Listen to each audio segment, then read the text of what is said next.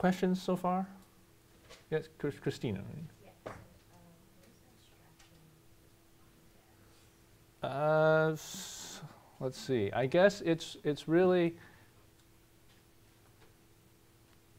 it's taking anything as something that is universal and not not linked to a particular situation. Right? So it's it's it's really the difference between black and blackness. Right? So black is a is an adjective that attaches, so you say the stove is black, it attaches to the stove, the black stove, right? And if you take blackness instead of black, you're saying th- this concept of being black, which is an abstraction because it's, it's, it's you've, you've detached it from any specific instance of being black, right? And so it's an abstraction because it's, uh, it's not tied to a specific case. Okay? All right. Other questions? All right, so why must the predicate be independent of the subject?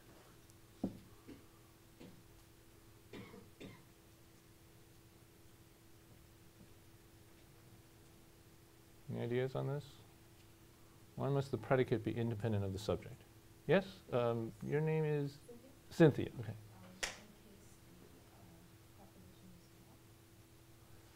Right, in case the proposition is false, right? Because you can't. you- right, so a proposition is only there because it could be true, it could be false, because that's why you make the proposition.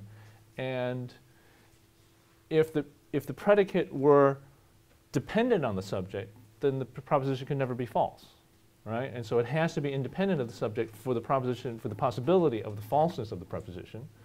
And the proposition only makes sense because you need to make the proposition in order to assert the trueness uh, as opposed to the falseness. Uh, and if, if it could only be true, then there's no, there's no proposition in fact, right? Okay? Good, right? So the predicate has to be independent of the subject in order that it, the, the proposition could be true or false, and in order then for that proposition to make sense, right?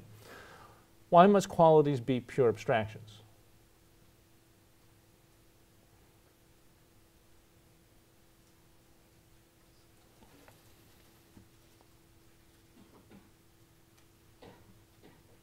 It's related to what we, just explained, right?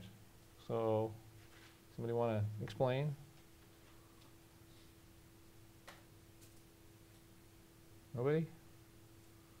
Why must qualities be pure? So it's, it's, it's, it's, it's, it's why, why does black have to always be conceivable as blackness? Is this an obvious thing or is this a hard thing? Nobody's giving me an answer. Yes? Uh, Luz? So uh, you can make universals. Well, okay, yes, that's, uh, that's a good answer. So uh, qualities have to be pure so that they can be universal, which is to say, so that they can be applied to different situations. Right? And so a quality has to be able to be applied to different situations for it to be a predicate. Otherwise, it wouldn't function as a predicate. It would always be attached to the substance, and it wouldn't, you wouldn't be able to detach it from a particular situation. So qualities have to be pure abstractions. A black has to be blackness in order for it to be able to be attached to different things, and therefore universal. Right? Does that make sense? Other questions about that?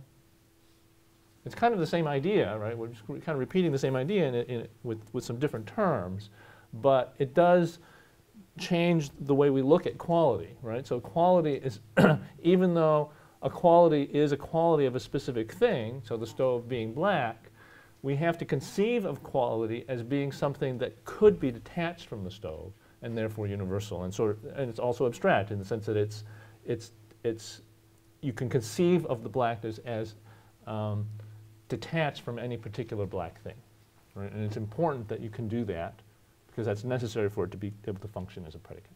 Okay.